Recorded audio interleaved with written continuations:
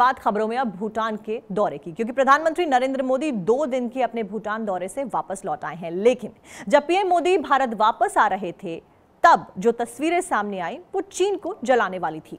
140 करोड़ भारतीयों को गर्व करवाने वाली थी। मोदी ने लोकतंत्र के महायज्ञ के चलते हुए समय निकालकर जिस तरह से भूटान का दौरा किया, भूटान नरेश ने भी उसी तरह पीएम नरेंद्र मोदी को सम्मान देकर भारत के मान को बढ़ाया और चीन को परेशान कर दिया। इस पर देखिए हमारी एक खास रिपोर्ट।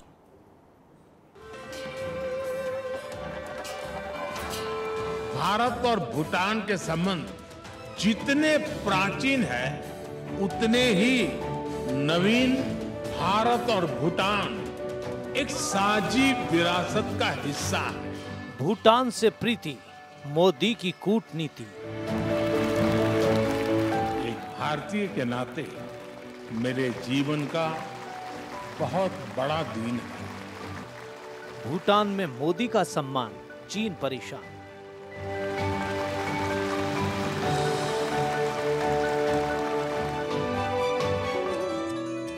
ये तस्वीरें देखकर 140 करोड़ भारतीय गर्व महसूस कर रहे हैं।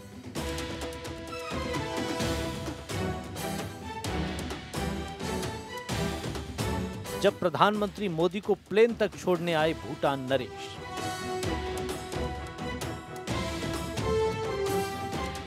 ऐसा शायद भारत के इतिहास में पहली बार हुआ होगा, जब कोई दूसरे देश का पीएम या राजा प्रोटोकॉल तोड़कर भारत के प्रधानमंत्री को जहाज़ के अंदर तक छोड़ने आया।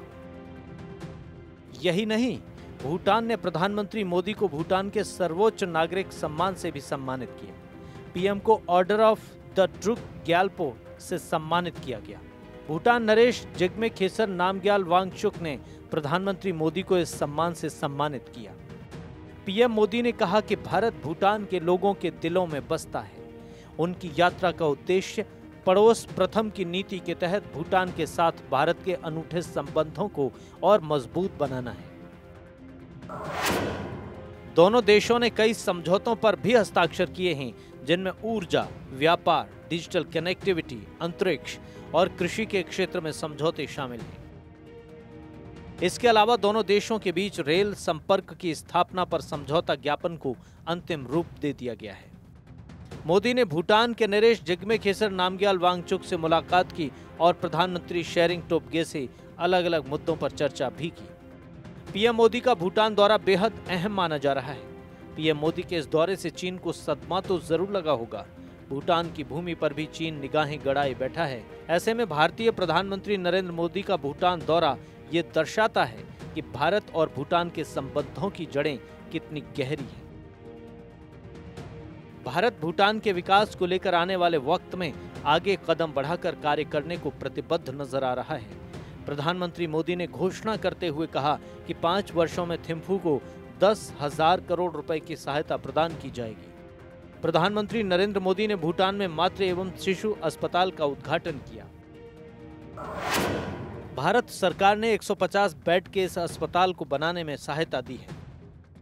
अस्पताल के पहले चरण के निर्माण में 22 करोड़ की लागत आई थी, जो 2019 से ही चालू अस्पताल के दूसरे चरण का निर्माण 2019 में शुरू किया गया था। वहीं बारहवीं पंचवर्षीय योजना के हिस्से के रूप में 119 करोड़ की लागत से अब इस अस्पताल को पूरा किया गया है। कि आने वाले पाँच वर्षों में हम दोनों देशों के पारस्परिक सहयोग को नई ऊंचाई देंगे हम भारत, भूटान के बीच कनेक्टिविटी इंफ्रास्ट्रक्चर ट्रेड और एनर्जी सेक्टर में नई संभावनाओं पर काम करेंगे। एक तरफ़ भारत में लोकतंत्र के महापर्व की तैयारियाँ जोरों से चल रही हैं, दूसरी तरफ़ पीएम मोदी अपने पड़ोसियों को भी मैसेज दे रहे हैं। पीएम मोदी दो दिन की भूटान यात्रा से लौट आए हैं। उनकी ये दो दिवसीय यात्रा ऐसे समय पर हुई है जब भारत में चुनावों की तारीख आ चुकी है। सभी पार्टियाँ ज़ोर शोर से प्रचार में जुटी हैं। पीएम मोदी चुनाव प्रचार छोड़कर भूटान की यात्रा पर हैं। इससे ये और भी महत्वपूर्ण हो जाता है।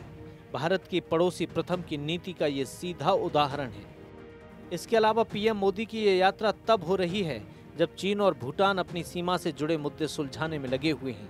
ये यात्रा हिमालय में चीन की ग्रे जोन युद्ध पर एक बार फिर ध्यान केंद्रित करती है। ग्रे जोन युद्ध टूल किट में चीन दूसरे देशों को अपने दबाव में लाने के लिए सैन्य बलों का इस्तेमाल नहीं करता। चीन कानूनी, राजनीतिक, राजनयिक, आर्थिक और मनोवैज्ञानिक तरीकों के ज़रिए ऐसा करता है। भूटान की संप्रभुता को कमज़ोर करने के लिए चीन सीमावर्ती क्षेत्रों में सैन्य क्षमताओं को बढ़ा रहा है। 2017 में चीन ने सीमावर्ती इलाकों में गाँव बसाने शुरू किए। भारतीय सीमा के करीब भी चीन गाँव बसाता रहा है। चीन और भूटान के आकार में ज़मीन आसमान का अंतर है।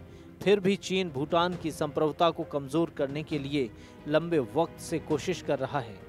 भूटान और चीन के बीच विवाद के ये तीन क्षेत्र हैं।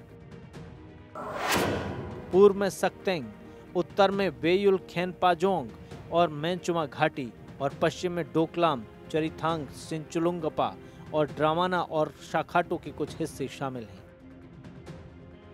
भूटान अच्छी तरह जानता है कि चीन से उसकी रक्षा सिर्फ़ और सिर्फ़ भारत ही कर सकता है। भारत और भूटान की आकांक्षाएँ एक जैसी हैं। हमने दो तक विकसित भारत बनाने का निर्णय लिया है, जबकि भूटान ने 2034 तक उच्च आय राष्ट्र बनने का फैसला किया है। Bureau report, Bharat 24